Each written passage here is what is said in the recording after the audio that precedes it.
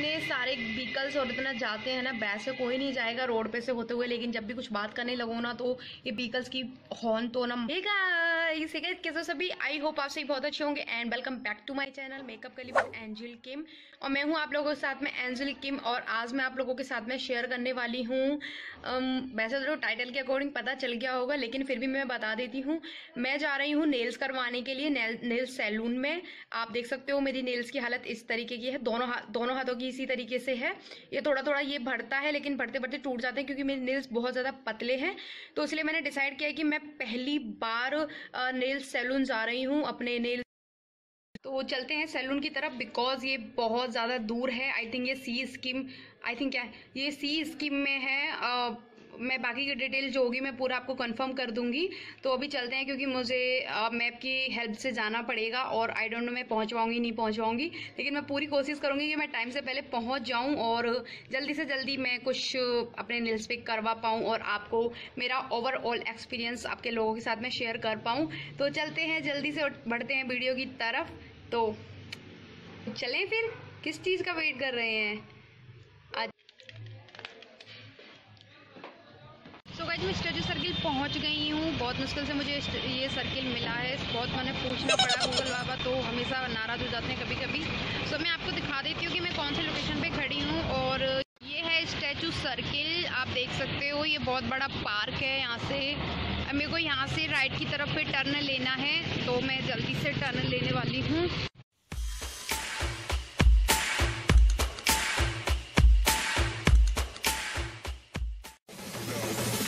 Get, get, get, low when the whistle go.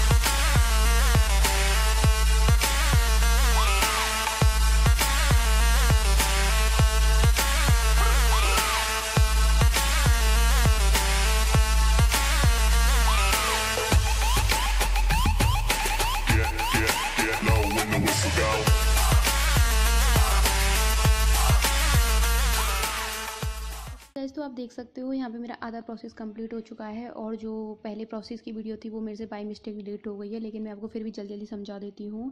तो सबसे पहले उन्होंने मेरे नेल्स को देखा कि वो कितने हार्ड हैं, कितने पतले हैं या क्या प्रॉब्लम है। उसके बाद में उन्होंने थोड़ा सा अब एक मशीन की हेल्प से मेरे बफर की हेल्प से मेरे नेल्स को थोड़ा सा रिमूव किया और उसके बाद में उन्होंने फेक नेल्स को अप्लाई किया मेरे साइज़ के अकॉर्डिंग जो मेरी नेल्स पैड की साइज़ है उसके हिसाब से। उसके बाद में उन्होंने हार्ड ग्लू की हेल्प से कम से कम छः मिनट तक मेरे नेल्स पे उस उस नील्स को दबा के रखा जिससे वो अच्छी तरीके से स्टिक हो जाए ग्लू जो है वो स्टिक हो जाए। उसके बाद में आप देख सकते हो, उन्होंने एक बार मेरे मेरे नील्स पे जेल अप्लाई कर चुकी हैं वो।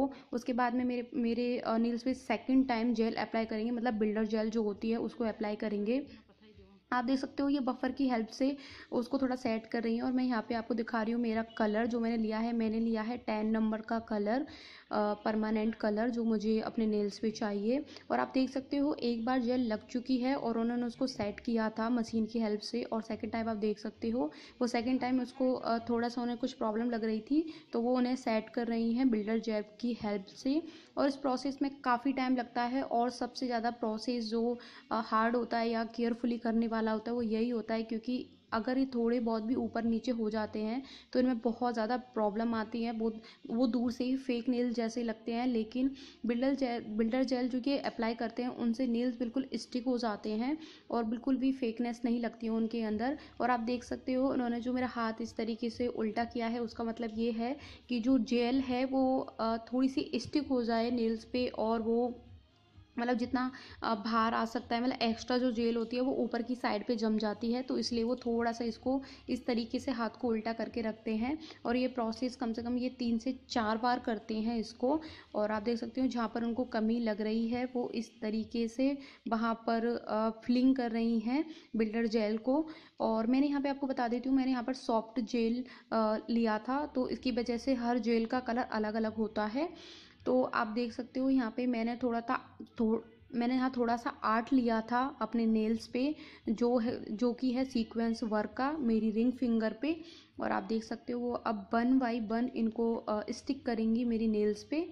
और ये ये इस तरीके से एक वन बाई वन करके इनको स्टिक कर रही मैंने सीक्वेंस वर्क लिया है यहाँ पे सिल्वर कलर का। और परमानेंट कलर भी मैं यहाँ पर चॉइस कर चुकी हूँ। और मैंने यहाँ पे लिया है लाइट कॉफ़ी कलर जो आपको टेन नंबर में दिख जाएगा, जो मैंने आपको अभी थोड़ी देर पहले नेल्स की पूरी सीरीज़ दिखाई थी कलर्स की। और इस तरीके से ये इनको कंप्लीट कर दिया है इन्होंने। और उसके बाद में ये यू वी एल की लाइट की हेल्प से ये थोड़ा सेट हो जाएँगे। मतलब कि मतलब कि ये जो सेट होते हैं, जिस तरह से हम उस तरीके से सेट हो जाएँगे। और आप देख सकते हो यहाँ पर ये कलर अप्लाई कर रही हैं, जो कि परमानेंट कलर है और ये मैंने लाइट कॉफ़ी कलर लिया है और टेन नंबर है इसका, आप चेक कर सकते हैं सीरीज़ में आपको दिख जाएगा और ये इस तरीके से मेरे नील्स स्पेस को अप्लाई कर देंगे।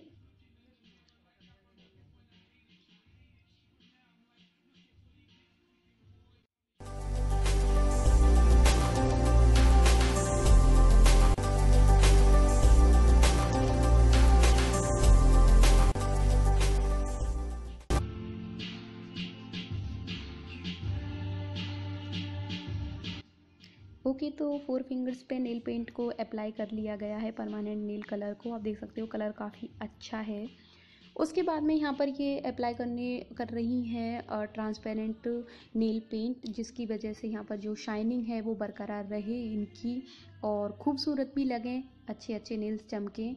और यहाँ पर अब इसको सेट करने के लिए यू बी एल की हेल्प से इसमें थोड़ा सा इसको सेट कर लेंगे। और देख सकते हो आप मेरे फाइनल फिनिश लुक नेल्स का।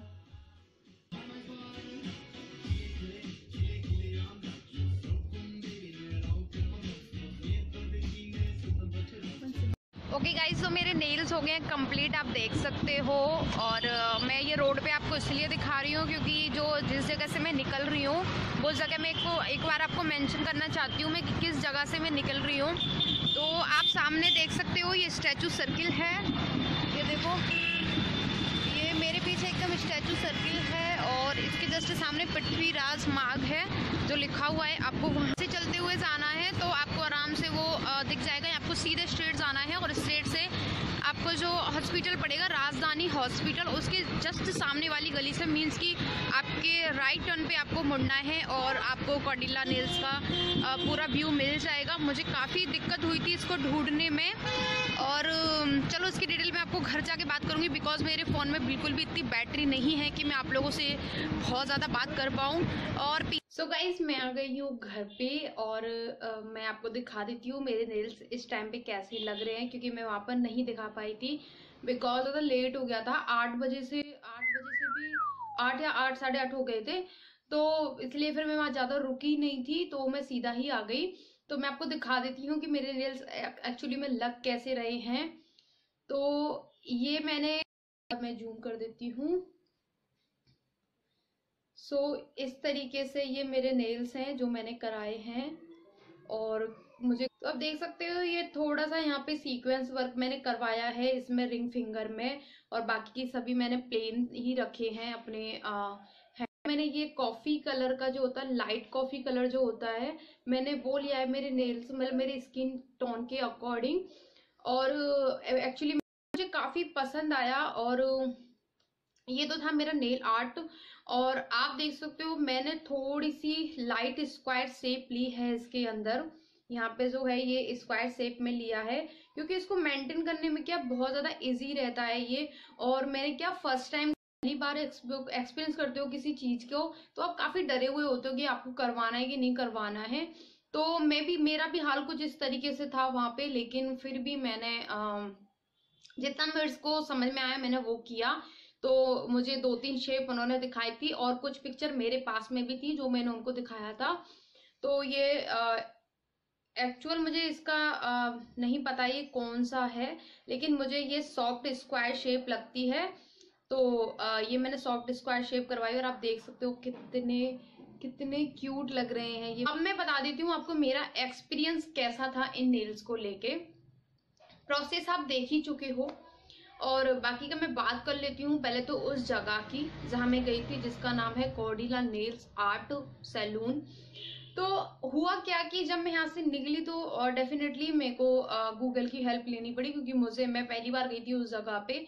और मुझे काफ़ी पूछना भी पड़ा लोगों से स्टैचू सर्किल पे जाने के बाद में। तो मुझे जो मेरी जर्नी मुझे पता थी, मुझे स्टैचू सर्किल तक तो मुझे मेरी पता थी कि मुझे कैसे, कहाँ जाना है तो मैं स्टैचू सर्किल पहुँची। और वहाँ जाके मैं बहुत ज़्यादा कंफ्यूज हो गई उस जगह को लेके। ओके okay, तो मेरे को जो सबसे ज़्यादा कंफ्यूजन पार्ट था वो ये था कि मैं स्टैचू सर्किल तक तो पहुँच चुकी थी लेकिन जो मैप में आ, जो जगह बता रही थी वो कुछ अलग ही था। उस उस जगह ने मतलब मीन्स कि उस मैप की वजह से मैं पूरे डेढ़ आधा घंटा सॉरी आधा घंटा मैं उस सर्किल पे राउंड राउंड घूमी हूँ बार बार बार बार मैं काफ़ी दो तीन जो वहाँ पे गलियाँ बनी होती है छोटी छोटी सी, जो एक अलग अलग नाम से होती हैं, उनमें भी मैं काफ़ी बार गई, कभी एक मिनट का डिस्टेंस कभी चार मिनट का डिस्टेंस पता नहीं, बहुत ज़्यादा मेरे को बहुत कंफ्यूजन था, मैंने काफ़ी लोगों से भी पूछा जो वहाँ पे पर्टिकुलर उनकी दुकान थी, बहुत दिक्कत हुई उसको ढूँढने में तो ओवरऑल पार्ट में मेरा यही सबसे गंदा एक्सपीरियंस था, वहाँ जाने का। बाकी का जब मैं वहाँ पे गई, उसका एक्सपीरियंस मेरा बहुत ज़्यादा अच्छा था। तो अगर आप वहाँ ऐसे जाते हो तो मैं आपको बता देती हूँ पहले तो। जैसे ही आप स्टेजू सर्किल पे पहुंचोगे, वहाँ पे एक पृथ्वीराज माँ नाम करके लिखा हुआ आता है। आपको उस गली में सीधे सीधे चलना है।